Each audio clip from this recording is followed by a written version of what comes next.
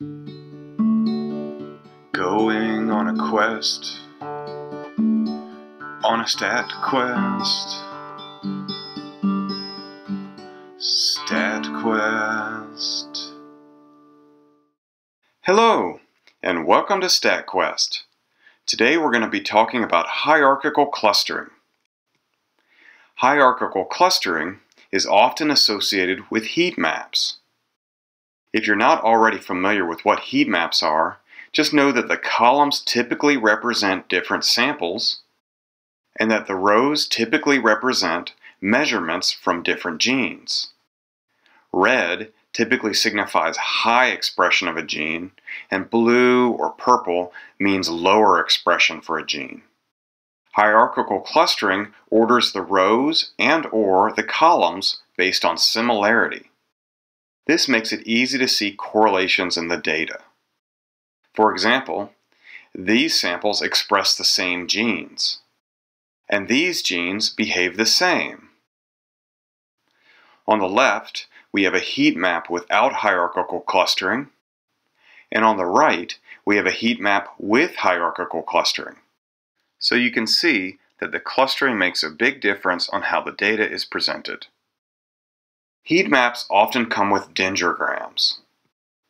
So we'll talk about those too. Let's get started. We'll start with a simple example. Here we've got a simple heat map that has three samples and four genes. For this example, we are just going to cluster or reorder the rows or the genes. Conceptually, the first step is to figure out which gene is most similar to gene number 1. Genes number 1 and 2 are different. We can tell because the colors are very different. Gene 1 is highly expressed in sample number 1, so it has a red color. Gene 2, however, is not highly expressed in sample number 1, so it has a blue color. In sample number 3, gene 1 is lowly expressed, so it's blue, and gene 2 is highly expressed, so it's red. Genes 1 and 3 are similar, so that means in sample 1, both gene 1 and 3 are red, they're highly expressed. And in sample 3, they're both blue, meaning they're lowly expressed. Genes 1 and 4 are also similar. However, gene number 1 is most similar to gene number 3.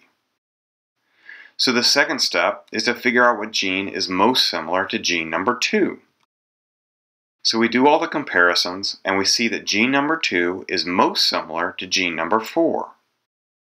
And then we do the same thing for gene number 3 and then gene number 4.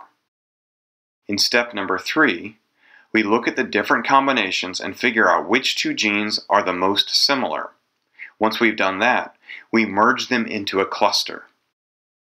In this case, genes number 1 and 3 are more similar than any other combination of genes.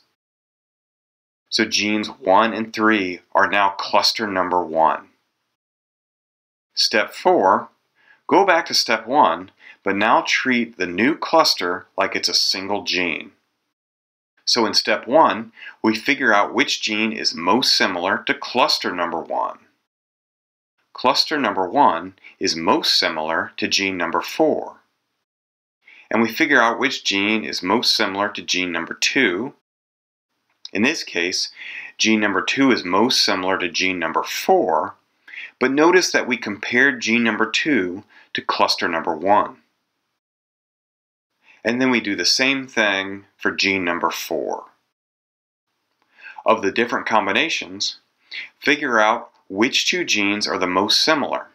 Now merge them into a cluster. In this case, genes 2 and 4 are the most similar combination. So we've merged them into a cluster. Now we go back to step one. However, since all we have left are two clusters, we merge them. Bam! We're all done. Hierarchical clustering is usually accompanied by a dendrogram. It indicates both the similarity and the order that the clusters were formed.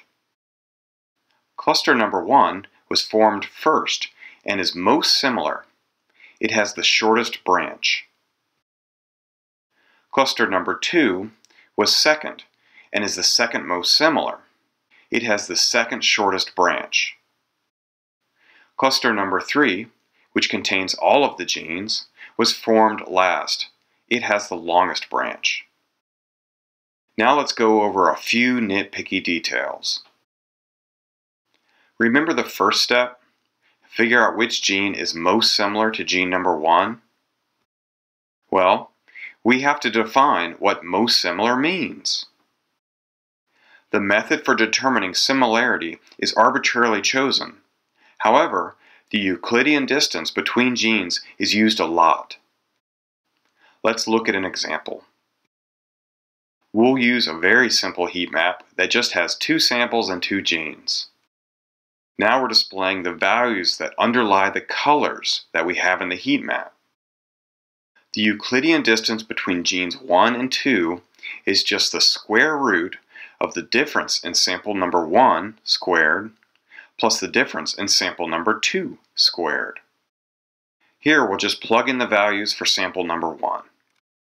We have 1.6 minus negative 0.5. Now let's plug in the values to calculate the difference in sample number 2. We have 0.5 minus negative 1.9. Doing the subtraction gives us the square root of 2.1 squared plus 2.4 squared. We can think of these values within the parentheses as sides on a triangle. So on the x-axis, we have the distance between gene 1 and gene 2 in sample number 1. And on the y-axis, we have the distance between gene 1 and 2 in sample number 2. The hypotenuse is the distance between genes 1 and 2.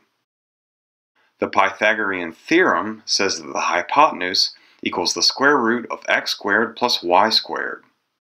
In this case, that means the square root of 2.1 squared plus 2.4 squared. And that gives us 3.2, the distance between gene number 1 and gene number 2. When we have more samples, we just extend the equation. It's no big deal. The Euclidean distance is just one method. There are lots more, including the Manhattan distance.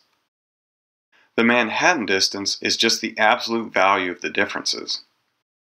So instead of squaring the differences and then taking the square root, all we do is take the absolute value of the differences. We can think of the Manhattan distance in geometric terms by imagining that each difference is a line segment. If we take all those line segments and put them together, head to tail, head to tail, and then add that total length of all those line segments together, that's the Manhattan distance. Yes, it makes a difference. Wah wah. Here's a heat map drawn using the Euclidean distance. And here's the same information drawn as a heat map, but now we're using the Manhattan distance. The heat maps are very similar, but there are also a few differences. The choice and distance metric is arbitrary. Wah wah. There is no biological or physical reason to choose one and not the other. Pick the one that gives you more insight into your data. Now, do you remember how we merged genes 1 and 3 into cluster number 1 and compared it to other genes? Well, there are different ways to compare clusters too. One simple idea is to use the average of the measurements from each sample. But there are lots more. And these have effect on clustering as well. So let's talk about the different ways to compare clusters. For the sake of visualizing how the different methods work, imagine our data was spread out on an xy plane. Now imagine that we have already formed these two clusters, and we just want to figure out which cluster this last point belongs to. We can compare that point to the average of each cluster. This is called the centroid. The closest point in each cluster. This is called single linkage or we can compare it to the furthest point in each cluster. This is called complete linkage. And there are other methods as well. Here's a heat map that compares the furthest points in the clusters. By the way, if you use R, this is the default setting for the hclust function. This heat map compares the average points in the clusters, and this last heat map compares the closest points in the clusters. These heat maps are all very similar, but there are also differences in the way the data is presented. In summary, clusters are formed based on some notion of similarity. You have to decide what that is.